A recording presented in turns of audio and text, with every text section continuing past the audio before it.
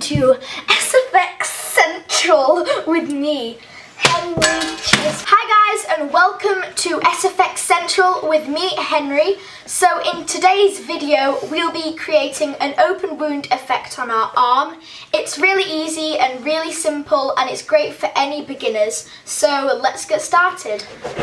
So the first thing you are going to need is liquid latex. I found mine at Amazon online and it was really easy to find and it's a litre bottle. And you are also going to need some brushes. I will preferably use a big one to apply like the foundationy stuff and this to paint with and that for details. You're going to need a sponge to blend and just add effects and stuff. So the next thing you'll need is red face paint, any brand, um, any type really, but it has to be red if you want it to be like the bloody internally colour. You will also need a palette including colours like reddy pinks, blacks, skin tones, and I'm using Colours by Technic Complete Makeup Palette to do my look.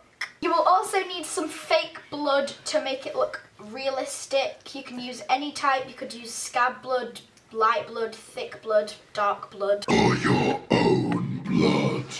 You will also need some isopropyl blur or rubbing alcohol to remove it or clean it up and finally, you will need some scissors to cut into the latex to create the base of the wound. Or an easier option is to just cut into the skin and that's the look done. Hee No, seriously. Let's go on to the tutorial. So, to begin with, you want to apply a patch of liquid latex on your arm and you want to do about four or five layers of this the size of the patch will affect the size of your wound. And as you can probably notice in the corner of the screen, you can see my latex spilling out everywhere. So I'm using a blow dryer to speed up the process of drying in between each layer. It's really saved me a lot of time, so I'd recommend that to you. So now I'm cutting a slit in the liquid latex and an easy way to create a starting point is by rubbing the liquid latex and it will create a hole and you can start cutting from that hole. So now I've got my base, I'm applying my red paint in the middle of the wound.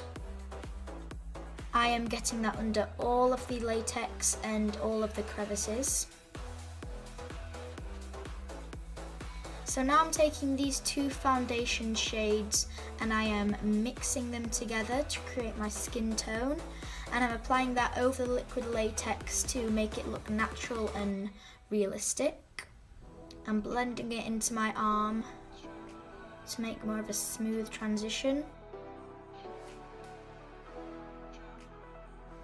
So now I'm taking this shade of black and applying that around the edges of my wound to create depth in the wound. I'm blending that out to make it look more realistic and I'm dragging it in towards the middle. So now you'll want to take this pinky red shade and apply that around the edges to make the skin look more irritated. So now I'm applying my fake blood in all the four corners of my wound. And I'm using my brush to spread out all the blood and blend it in.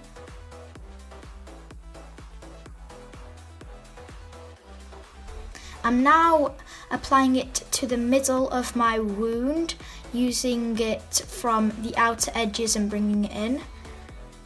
So now I'm ripping up a sponge and stippling that all over the edges to make it look more bruised. There you go, your very own wound.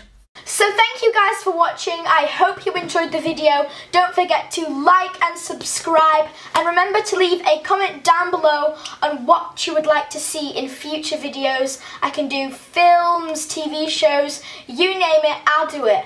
Bye, Felicia!